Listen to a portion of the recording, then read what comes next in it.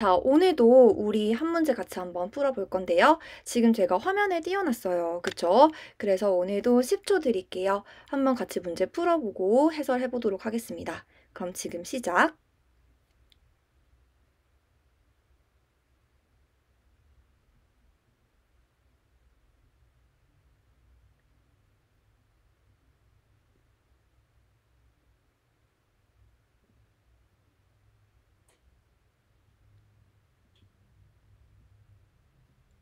끝. 네. 그럼 같이 한번 문제 풀어보도록 할게요. 자, 일단은 여러분 part 5 문제니까 주어 동사 끊어야죠. 자, 주어 먼저 끊으면 자, 멀티미디어까지가 주어가 될 거고 지금 Julia Incorporation이랑 Star Multimedia랑 지금 두 개가 연결이 되어 있네요. 그다음에 동사는 decided가 되는 거고 목적어가 되게 길어요. that부터 지금 corporations까지가 목적어인데 지금 저게 어떻게 가능한 거냐면 that이라는 접속사가 그 명사절 접속사라고 해서 완전한 문장을 명사화시키는 그런 기능이 있어요. 그래서 목적어 자리에는 기본적으로 품사가 명사만 들어갈 수 있는데 저렇게 문장을 명사절 접속사를 통해서 명사로 바꾸면 문장도 목적어 자리에 들어갈 수가 있어요. 그래서 지금 저렇게 that부터 corporations까지가 that이 이끄는 명사절이기 때문에 명사 취급을 받아서 목적어 자리에 들어갈 수 있다는 걸 알 수가 있고요. 자, 그러면 여기서 우리가 하나 더 체크하고 넘어가야 되는 게 명사절은 접속사 이후가 완전한 문장이에요. 그쵸? 왜냐면 원래 문장이었는데 그 문장 앞에 명사절 접속사 하나 붙여서 문장을 명사화한 거거든요. 그러니까 지금 빈칸 이후를 보면 their expertise까지가 주어고요. 명사절 안에서. 그다음에 would increase까지가 그냥 동사예요. 자, 그 말은 이제 저 빈칸 포함해서 expertise까지가 하나의 명사구로 묶여서 명사절의 주어가 되어 줘야 된다는 얘기인 거예요.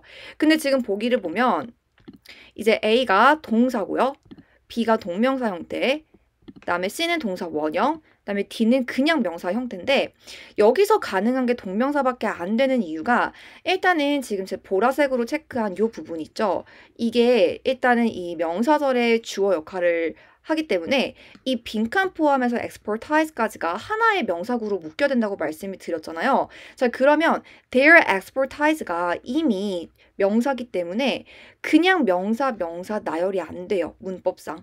명사와 명사를 나열할 거면 중간에 전치사가 껴서 연결을 해줘야 되는데 지금 여기 가운데는 전치사가 없기 때문에 그냥 명사가 들어갈 수는 없거든요. 그 말은 이 보라색이 하나의 명사구로 묶이면서 동시에 이 명사를 적절하게 처리를 할 수 있는 빈칸이 들어가려면 동명사가 들어가서 저 뒤에 있는 their expertise라는 명사를 동명사의 목적어로 묶어줘야 돼요. 이거는 이제 동명사의 특징이 여러분들이 알고 계셔야 되는 건데 동명사라는 것도 동사가 명사화된 것으로서 준동사라고 우리가 얘기를 해요. 준동사의 동사적 기능으로 동명사는 동사였을 때 가지고 있던 목적어를 데리고 올 수가 있거든요. 그래서 어쨌든 이 자리는 동명사가 들어가야 뒤에 있는 their expertise까지 같이 명사구로 묶여서 얘가 통째로 주어 역할을 할 수가 있다. 이렇게 결론이 나오는 거예요. 그렇기 때문에 지금 답은 유일한 동명사인 combining 이 답이 될 거고요. 해석을 하면 combining their expertise 그들의 전문 지식을 결합하는 것 이런 식으로 뭉텅이로 해석을 해줄 수가 있겠습니다. 자 그러면 오늘은 여기까지 하고 오늘도 너무 고생 많으셨고 제가 또 빠른 시일 내에 다른 문제로 찾아오도록 하겠습니다. 모두 안녕.